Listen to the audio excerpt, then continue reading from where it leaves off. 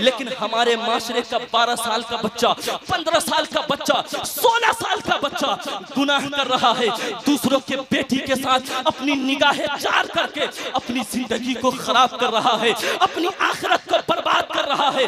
मैं कहता हूँ, ए मेरे चाचा, गौर से सुनिएगा, आपने वक्त पर अगर अपने बेटे का निकाह नहीं किया और वो बेटा गुनाह कर लिया तो याद रखे, उस गुनाह में सिर्फ़ आपका बेटा शरीक नहीं है, उस गुनाह में आप भी शरीक है, आपकी बीवी भी शरीक है, आपका माशरा भी शरीक है।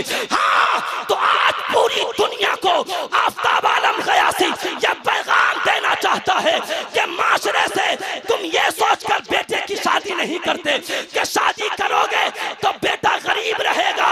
ना, आज इन की मुकद्दस मौजूदगी में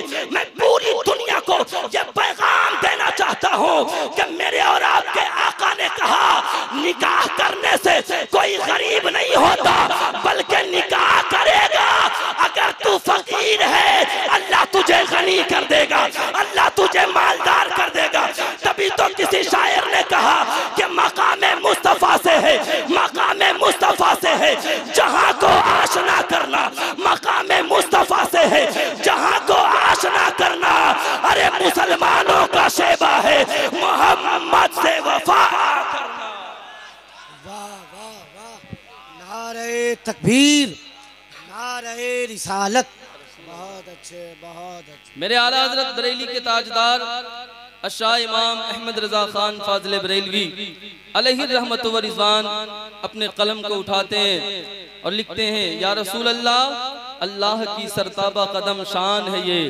इंसान नहीं इंसान वो इंसान है ये। कुरान तो ईमान बताता है हमें। कुरान तो ईमान बताता है इन्हें और ईमान ये कहता है, मेरी जान है ये। और ईमान ये कहता है, मेरी जान है ये। अल्लामा इकबाल कहते हैं, हो न ये फूल तो बुलबुल का तरन्नुम भी न हो, चमने दहर में कलियों का तबस्सुम भी न हो। ये न साकी हो तो मैं भी न हो तुम भी न हो, बज़मे तौहीद भी न हो दुनिया में। तुम भी न हो, खेमए अफलाक का इस्तादा। इसी नाम से है, नबजे हस्ती, तपिश आमादा। इसी नाम से है। और अल्लामा इकबाल ने कहा कि मोहम्मद से वफा तूने तो हम तेरे हैं। ये जहाँ चीज़ है क्या? लौहो कलम तेरे है। ये जहाँ चीज़ है क्या? लौहो कलम तेरे हैं। आज आप सुन्नत मुस्तफ़ा की मुबारक महफिल में आए हैं। पैगाम आपके लिए ये है कि निकाह मेरे आकाए करीम सल्लल्लाहु अलैहि वसल्लम की प्यारी सुन्नत है मेरे अजीजों में आपसे अर्ज़ करना चाहता हूँ निकाह नवे इंसानी की बेका के लिए सबसे महजब तरीन रास्ता है। यानी निकाह मेरे और आपके आका ने करके दुनिया वाले को पैगाम देकर ये बताया कि निकाह वो अजीम अमल है जिससे दो अजनबी लोग मिलते हैं। यानी एक दूसरे को कभी जानते नहीं थे, कभी देखा नहीं था, कभी पहचाना नहीं था। लेकिन जब वो निकाह के रिश्ते से मुंसलिक होते हैं अल्लाह उस निकाह की बरकत से इतनी मोहब्बत दोनों के दरमियान अता फरमाता है। इतनी मोहब्बत अता फरमाता है कि जब वो निकाह के रिश्ते से मुंसलिक हो जाते हैं, मेरे अजीजों, एक नौजवान जब चलता है, अपनी अहलिया के ख्याल में ज़िंदगी गुजारता है। जब बातें करता है, जब फ़िक्र करता है तो उसकी अच्छी ज़िंदगी के लिए फ़िक्र करता है। यानी जो दोनों जोजैन के अंदर जो मोहब्बत हो रही है, ये किसी और वजह से नहीं है। ये हमारे और आपके आका के सुन्नत मुबारक की वजह से है। ये मेरे और आपके करम नवाजियों की वजह से है। आज मैं आपको बताना चाहता हूँ, निकाह वो पाकिजा अमल है जो एक इंसान को बुराई से रोक देता है। निकाह वो पाकिजा अमल है जिसको करने के बाद मेरे और आपके आका ने पूरी दुनिया को ये पैगाम दिया कि सुनो, नमाज़ पढ़ते हो, तुम्हें सवाब मिलेगा, रोजा रखते हो, तुम्हें सवाब मिलेगा। हज करते हो, तुम्हें सवाब मिलेगा। सकात देते हो, तुम्हें सवाब मिलेगा। यानी सदका करते हो, तुम्हें सवाब मिलेगा। महफिल सुनने के लिए जा रहे हो। सवाब तुम्हें मिलेगा बुज़ुर्ग की मजार पे हाजिरी दे रहे हो सवाब तुम्हें मिलेगा लेकिन निकाह इतना पाकिजा अमल है कि जिस वक्त तू निकाह से मुंसलिक हो जाएगा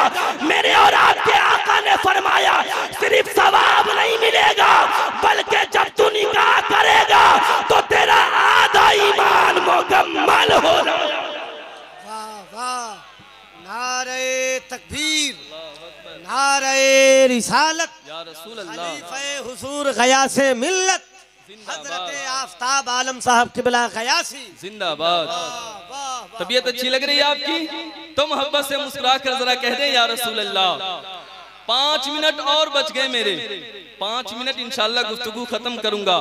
मैंने पहले ही कहा है मैं वो खतीब नहीं हूँ कि जिनके जुब्बे खींच के बैठाए जाएँ कि बैठ जाइए, हज़रत वक्त हो गया है तो बैठेंगे। नहीं, आपके बोलने से पहले इंशाल्लाह मैं बैठ जाऊँगा। इसलिए मैं आपसे कहना चाहता हूँ, निकाह सबसे पाकिजा अमल है। ए मेरे अजीजों, ए मेरे नबी के कलमा पढ़ने वालों, में आपको कहना चाहता हूँ, मैं आपको पैगाम देना चाहता हूँ कि निकाह इंसान को बुराई से रोकता है। आज जो माँ बाप ये सहन रखते हैं कि मेरा बेटा डॉक्टर बनेगा, मेरा बेटा इंजीनियर बनेगा, मेरा बेटा प्रोफेसर बनेगा, तब जाकर अपने बेटे का मैं निकाह करूँगा, तब जाकर मैं उसकी शादी रचाऊँगा। लेकिन मैं आपसे कहना चाहता हूँ, मैं इन तमाम लोगों को एक जहन देना चाहता हूँ आबिद भाई की शादी से एक पैगाम देना चाहता हूँ कि मेरे भाई, आप ये सोचते हैं कि बच्चा डॉक्टर बनेगा, तब निकाह करेंगे। आप ये सोचते हैं, बच्चा इंजीनियर बनेगा, तब निकाह करेंगे बच्चा जब प्रोफेसर बनेगा तब निकाह करेंगे ताकि मेरा बेटा कामयाब हो जाए, ताकि मेरा बेटा पैसे वाला हो जाए, ताकि मेरा बेटा दौलत वाला हो जाए, ताकि मेरा बेटा किसी अच्छे ऑफ़िस में नौकरी करने लगे, तब अपने बेटे का निकाह करूँगा। लेकिन इसी ख्याल ने आज मुसलमानों को गुनाहों में मुब्तला कर दिया। आज देखे तो सही, हमारे माशरे का बच्चा गुनाह करता नज़र आ रहा है। आप देखे तो सही, हमारे माशरे की बच्ची गुनाह करती हुई नज़र आ रही है। हाँ हाँ मेरे असीसों निकाह में ताखिर करने की वजह से हमने किन किन परेशानियों का सामना नहीं किया। एक बाप ने अपनी बेटी को जब खो दिया, उस बाप के कलेजे पे जो चोट पहुँची है, उस बाप के कलेजे पे जो तकलीफ़ पहुँची है, उस बूढ़े बाप से जाकर पूछो कि, बाबा, आज तुझे किस चीज़ ने रुला दिया? आज तू क्यों रोता है? वो बाप कहता है, मैंने अपनी जवान बेटी को बचपने से लेकर उसे चलना सिखाया, उसे बोलना सिखाया उसके हर नासो नखरे को मैं झेलता गया। मेरी बेटी ने कहा, बाबा, मुझे मुझे महँगे कपड़े चाहिए। मैंने अपनी बेटी को महँगे कपड़े ला कर दिया। मेरे बाप ने कहा कि, बाबा, मुझे घर में खेलने के लिए खिलौने चाहिए। हमने अपनी बेटी को ला कर दिया। मुस्लिम, ए मेरे नबी से प्यार करने वालों, सुन्नी मुसलमानों, मेरे दादा सरकार से मोहब्बत रखने वालों, मैं आपसे अर्ज़ करना चाहता हूँ। हमने अपनी बेटी को 18 सालों तक पाला और उसे बड़ा किया। हमने उसे जिगर के टुकड़े के तरह अपने दिल के करीब रखा। उसे हमेशा यह समझा कि यह मेरे जिगर का टुकड़ा है, यह मेरे आँखों का नूर है। लेकिन जब वो बच्ची शादी में ताखिर होने की वजह से जब वो उसके हाथ में मोबाइल दे दिया जाता है और वो बच्ची जब मोबाइल चलाती है, जब वो बच्ची कॉलेज में पढ़ने के लिए जाती है, बाप ये सोचता है, मेरी बेटी पढ़कर डॉक्टर बनेगी। बाप ये सोचता है, मेरी बेटी पढ़कर इंजीनियर बनेगी। उसने तीस और पच्चीस हज़ार के मोबाइल बेटी के हाथ में दे दिया और कहा कि मेरी बेटी नहीं बिगड़ सकती है। इसलिए कि मेरी बेटी मेरे जिगर का टुकड़ा है। मैंने अपने खून को पसेना बनाकर अपनी बेटी को पाला है। मैंने अपनी बेटी से इतनी मोहब्बत की है कि जमाने के माँ बाप मुझे रोकते रहे कि बेटा परदेश कमाने के लिए न जा। लेकिन फिर भी मैं बेटी की मोहब्बत में परदेश कमाने के लिए चला गया। लेकिन मेरे अजीजों, में आपसे कहना चाहता हूँ हाँ हाँ अपनी बेटी को डॉक्टर इंजीनियर, प्रोफेसर बनाओ। मैं इसके लिए मना आपको नहीं करता। लेकिन ये जो आका की हदीस है, ये ज़रूर आपको सुनाऊँगा कि मेरे और आपके आका ने पैगाम दिया, तलाबुल इल्मी फरीजतुन अला कुल्ली मुस्लिम व मुस्लिमा। हर मुसलमान मर्द और औरत पे इल्म दीन का सीखना फ़र्ज़ है। हमने अपनी बच्ची को डॉक्टर तो बनाया, हमने अपनी बच्ची को इंजीनियर तो बनाया, हमने अपनी बच्ची को बड़े से बड़े कॉलेज और यूनिवर्सिटी में तो भेजा। लेकिन कभी हमने अपनी बच्ची को कुरान पढ़ना नहीं सिखाया। हमने अपनी बच्ची को आका की हदीस नहीं पढ़ाई। अब जब 18 सालों तक आपने पाला है, वो बच्ची मोबाइल से कलेक्शन करके अपनी मर्ज़ी से अपना रिश्ता तलाश कर रही है। अपने बाप के कलेजे पे पैर मारकर, अपने समाज वालों के मुँह पे ठोकर मारकर बेटी छोड़कर जा रही है। अब बाप रो रहा है। बाप तकलीफ़ में है। माशरे का हर आदमी तकलीफ़ में है। परेशानी में है। मैं आपसे कहना चाहता हूँ, ये निकाह में ताखिर करने की वजह से है, ये दुनिया की तालीम दिलाने की वजह से है। आका की हदीस पढ़ाते, कुरान पढ़ना सिखाते, बेटी जब भी पाती उसका कदम रुक जाता। इसलिए कि आका का फरमान है, बेटी बाप को छोड़कर ना जाना। इसलिए कि तेरी ज़िंदगी में तेरे लिए सबसे कीमती दौलत अगर कुछ है तो बाबा की इज़्ज़त है। बेटी कदम तो उठाना चाहेगी, लेकिन बेटी कदम नहीं उठा सकती है। हाँ हाँ आज हमारे माशरे में तीस पैंतीस साल का नौजवान ये सोच कर पढ़ाई कर रहा है कि मैं कामयाब बनूँगा, तब निकाह करूँगा। बड़ा गौर से दो मिनट में गुफ्तगू खत्म कर रहा हूँ। बड़ा गौर से सुनिएगा, लेकिन हमारे माशरे का बारह साल का बच्चा, पंद्रह साल का बच्चा, सोलह साल का बच्चा गुनाह कर रहा है। दूसरों के बेटी के साथ अपनी निगाहें चार करके अपनी ज़िंदगी को खराब कर रहा है अपनी आखिरत को बर्बाद कर रहा है। मैं कहता हूँ ए मेरे चाचा गौर से सुनिएगा आपने वक्त पर अगर अपने बेटे का निकाह नहीं किया और वो बेटा गुनाह कर लिया तो याद रखे उस गुनाह में सिर्फ़ आपका बेटा शरीक नहीं है उस गुनाह में आप भी शरीक है आपकी बीवी भी शरीक है आपका माशरा भी शरीक है। हाँ, तो आज पूरी दुनिया को आफ्ताब आलम गयासी यह पैगाम देना चाहता है कि माशरे से तुम ये सोचकर बेटे की शादी नहीं करते कि शादी करोगे तो बेटा गरीब रहेगा। ना, आज इन उलमा की मुकद्दस मौजूदगी में मैं पूरी दुनिया को ये पैगाम देना चाहता हूँ कि मेरे और आपके आका ने कहा, निकाह करने से कोई गरीब नहीं होता, बल्कि निकाह करेगा। अगर तू फकीर है, अल्लाह तुझे गनी कर देगा, अल्लाह तुझे मालदार कर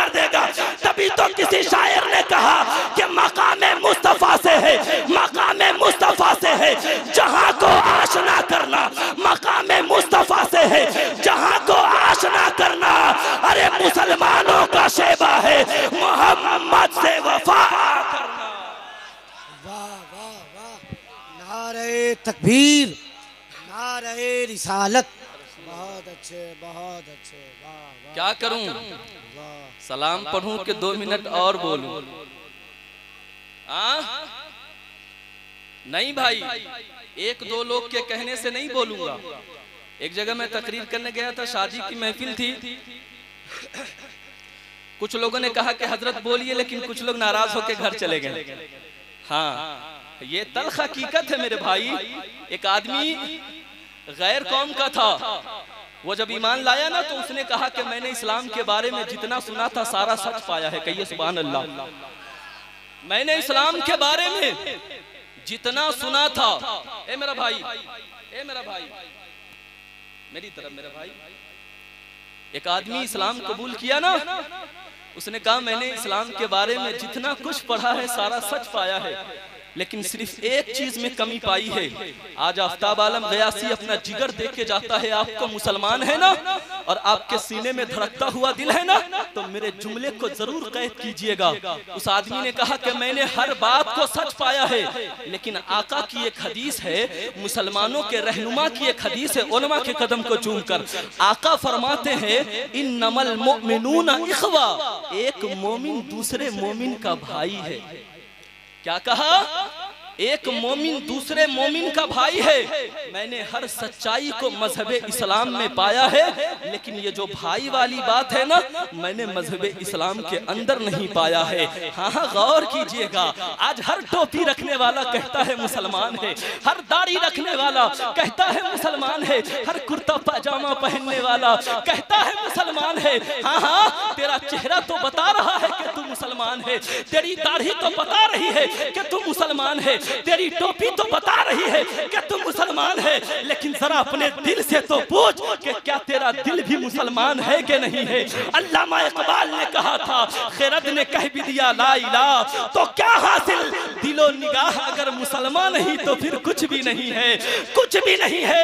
हाँ आज मैं आपसे कहना चाहता हूँ, आज जो आपने अपने माशरे को बांट दिया है, जात की बुनियाद पे, बरादरी की बुनियाद पे, नहीं मेरे अजीजों, मेरे आका ने अपने चाहने वाले को जात और बरादरी के बुनियाद पे नहीं बांटा, बल्कि कलमे तैयब, ला इलाहा इल्लल्लाह, मुहम्मदुर रसूलुल्लाह, सल्लल्लाहु वसल्लम की बुनियाद पे अपने चाहने वाले को बांटा और पैगाम दिया। हाँ हाँ मैं आपसे कहना चाहता हूँ ऐ मेरा भाई मुसलमान, तू कभी अपने दिल से तो पूछ के क्या तेरा दिल भी मुसलमान है कि नहीं है? तू तो अपने भाई के लिए हसद रखता है, तू तो अपने भाई के लिए बुक्स रखता है। हाँ मैंने छह महीना पहले देखा, एक भाई शादी करके आया है। चौथे महीने के बाद उसने अपने भाई से लड़ाई की है और लड़ाई करने के बाद दो साल हो गए। आज तक अपने भाई से बात तक नहीं किया। मैं तुमसे पूछना चाहता हूँ। मेरे आका ने कहा एक सफ में खड़े हो गए महमूद अयाज। न कोई बंदा रहा, न कोई बंदा नवाज़। तू कैसा मुसलमान है कि तू आज अपने भाई की नफरत लेकर अपने दिल में घूम रहा है? मैं तुझे कहना चाहता हूँ, मेरे नबी से प्यार करने वालों, मेरे नबी से मोहब्बत करने वालों हाँ हाँ तुम मुसलमान हो। हमेशा एक बनकर रहा करो। जात की बुनियाद पे नहीं, बरादरी की बुनियाद पे नहीं। मिन्नमल मुमिनूना इखवा की बुनियाद पे। आपस में भाई भाई बनकर रहा करो। आप भाई रहोगे आप मोहब्बत माशरे में कोई आपको बिगाड़ना चाहेगा? नहीं बिगाड़ सकता है। माशरे में कोई आपको अलग करना चाहे? नहीं अलग कर सकता है। हाँ मेरे भाई, मैं आपसे कहना चाहता हूँ, आखिरी जुमले मेरे तकरीर के, और सलातो सलाम पढ़ लीजिएगा। मैं आपसे कहना चाहता हूँ मेरे भाई, तू तो नबी का कलमा पढ़ने वाला है। मेरे आका ने जो दुश्मन आया मेरे आका के पास, मेरे आका ने उसे भी अपना बनाया है, उसे भी अपने सीने से लगाया है। तू तो उस नबी का कलमा पढ़ने वाला है नबी ने पूरी दुनिया को अमन शांति का पैगाम दिया यकता का पैगाम दिया, मानवता का पाठ पढ़ाया। लेकिन तू कैसा मुसलमान भाई है? अपने भाई से नाराज़ होता है। मेरे नबी ने फरमाया कि जो रिश्ता तोड़ता है अल्लाह ताला कभी उसे माफ़ नहीं करेगा। आखिरी जुमला मेरे तकरीर के है, शादी कीजिए अच्छा अपने घर में अच्छी बहू लाइए लेकिन अपने भाई, रिश्तेदार, चाचा, फूफा, खाला, खालू, सारे लोगों से रिश्ता बना कर रखिए, उसे तोड़िए नहीं, क्योंकि अल्लाह रिश्ता तोड़ने वाले को माफ़ नहीं करता है। आखिरी जुमला यह है कि जिस तरीके से तू अपने चेहरे पर कीमती फेस वाश लगाता है, कि तेरा चेहरा चमकने लगे, कीमती क्रीम लगाता है, कि तेरे चेहरे पर शाइनिंग आने लगे। तू अपने जिस्म पे महँगे कपड़े पहनता है, कि दुनिया वाला देख कर कहे ये किसी अच्छे घराने का आदमी जा रहा है या किसी अच्छे खानदान का आदमी जा रहा है। तो तूने दुनिया को, तूने अपने चेहरे को संवारा, तूने अपने कपड़े को संवारा, तूने अपने जिसम को संवारा, इसलिए कि दुनिया वाले इसे देख रहे हैं मैं आपको कहना चाहता हूँ, चेहरा संवारने की ज़रूरत आपको नहीं है, कपड़ा संवारने की ज़रूरत आपको नहीं है, जिस्म को सजाने की ज़रूरत आपको नहीं है, इसलिए कि जिस्म तो दुनिया वाले देखते हैं, चेहरा तो दुनिया वाले देखते हैं, तुझे अगर कुछ सजाना है तो अपने दिल को सजा, जिसे दुनिया वाले नहीं, रब्बुल आलमीन देखा करता है, तुम्हारा रब देखा करता है, और पूरी दुनिया को खड़े होकर पढ़े पूरी दुनिया को ये पैगाम देना है कि की मोहम्मद से वफा तूने। तो हम तेरे हैं कि मोहम्मद से वफा तूने। तो हम तेरे हैं। ये जहाँ चीज़ है क्या?